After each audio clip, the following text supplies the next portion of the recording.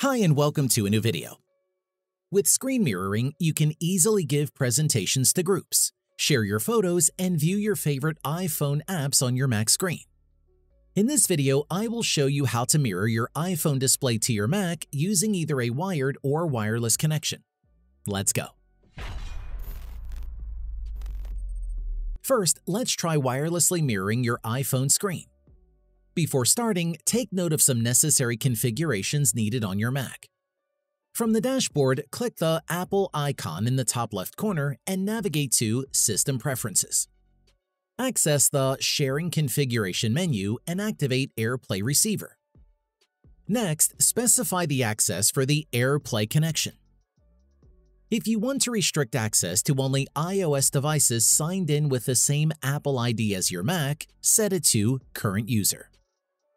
Otherwise, choose either anyone on the same network or everyone.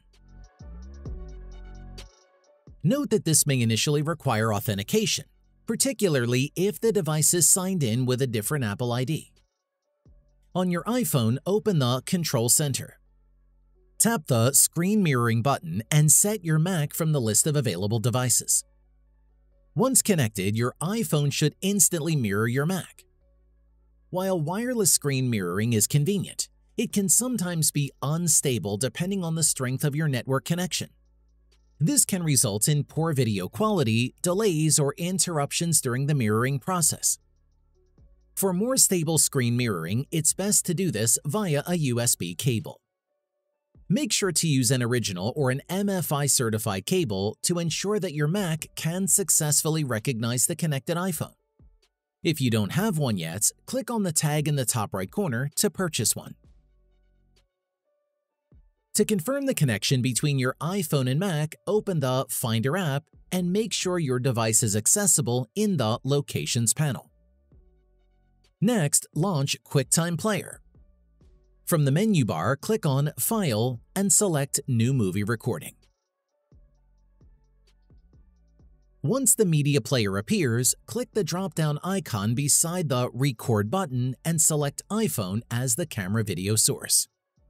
To ensure high-quality recording, make sure the Quality option is set to Maximum.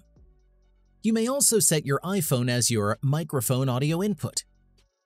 Once your iPhone is mirrored, click the Record button to start recording your screen. Then press the Stop button when you're done recording. When you close the iPhone window, you'll be prompted to save your recording to your preferred destination folder. Let me also show you another useful feature. From the QuickTime Player toolbar, click View and select Float on top.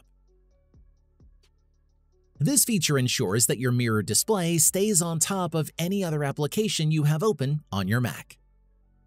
And that's it. If I could help you, feel free to give this video a thumbs up and don't forget to subscribe. Leave a comment down below if you have any questions. See you next time. Bye.